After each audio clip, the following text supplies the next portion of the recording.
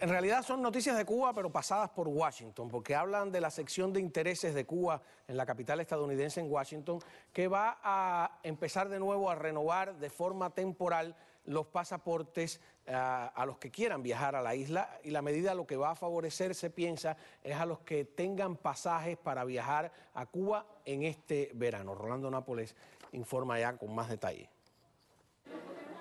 La sección de intereses de Cuba en Washington renovará de forma temporal los pasaportes vencidos o próximos a vencer de aquellos cubanos en Estados Unidos con reservas de viaje a la isla entre el 15 de mayo y el 31 de agosto próximo. Así podemos ir hacia allá y seguir a, ir a ver a nuestros familiares. Los cubanos tenemos derecho a ir a Cuba cuando queramos ir, porque ese es nuestro país.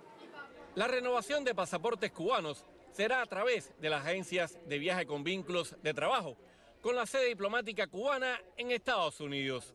Alberto Diegues dice que en su agencia Caribe Express también aceptarían los de quienes no precisamente viajen este verano a la isla. Si se presentara una persona con nosotros para hacer el pasaporte, nosotros se lo recogeríamos, pero no, tenía, no, no tendría prioridad a la hora de nosotros enviar los pasaportes, porque hay que darle prioridad a los que lo van a necesitar eh, ya rápidamente.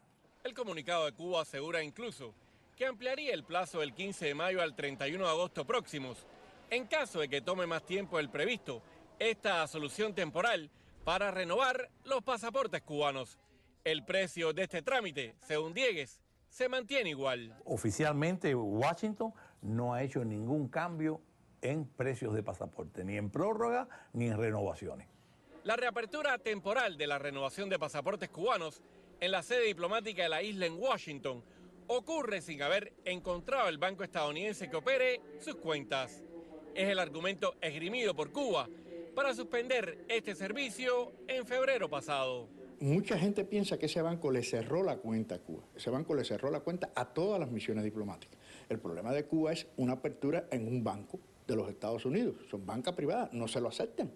El anuncio de La Habana se produce solo dos semanas después de que Cuba dijera que no permitiría la entrada a la isla de los cubanos que no tuvieran vigentes las prórrogas de dos años en sus pasaportes. Ellos pararon el flujo hace poco, sin necesidad ninguna, para crear crisis. Eso lo pone como una diplomacia inestable, como siempre ha sido, respecto a Cuba. Es decir, hoy te tranco, no vas nadie, pero te voy a dejar en el, en el verano. Eso es un juego muy poco serio de un gobierno dentro de otro país.